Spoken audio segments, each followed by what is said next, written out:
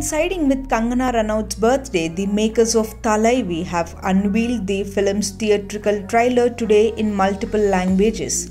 As the film directed by A.L. Vijay is all set to hit the screens on April 23rd, the trailer raises the expectations bar further.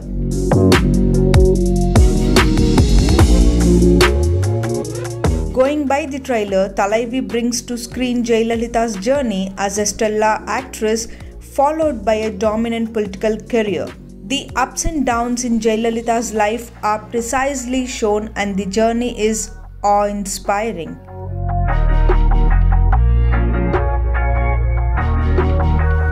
While Aravind Swamy played MGR, Samyuktha will be seen as Karunanidhi.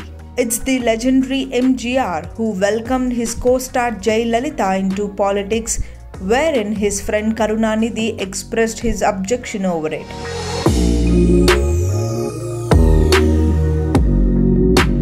Jayalalitha impressed Delhi leaders with her oratory skills and fluency in speaking English and the episode is included in the trailer which showed all the iconic moments in Jayalalitha's career including how she was insulted after MGR's death.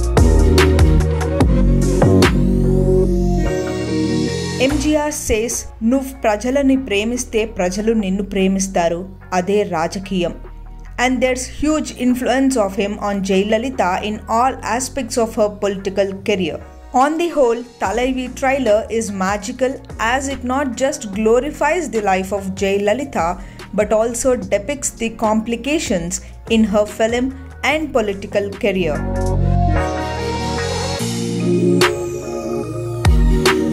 Technical team gives complete support to AL Vijay in making this a perfect tribute to Jayalalitha. Lastly, Kangana Ranaut is outstanding as Amma. Aravind Swamy looked apt in the role of MGR. The film is bankrolled by Vishnuvardhan Induri, Sailesh R. Singh and Tirumal Reddy.